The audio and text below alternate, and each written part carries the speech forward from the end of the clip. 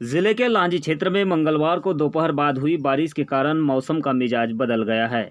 उमस वाली गर्मी और तेज धूप से परेशान लोगों को राहत की सांस मिली है। बारिश के कारण तापमान भी चार डिग्री से नीचे पहुँच गया है। मौसम विभाग की माने तो प्रदेश भर में इस समय प्री मानसून ने दस्तक दे दी है। इसके साथ ही चक्रवाती हवाओं का भी असर बना हुआ है, जिससे बालाघाट सहित संभागीय क्षेत्रों में बारिश के आसार बने हुए हैं। बारिश के दौरान तेज हवाएँ भी चली, जिससे लांजी क्षेत्र का मौसम इस समय खुशनुमा बना हुआ है।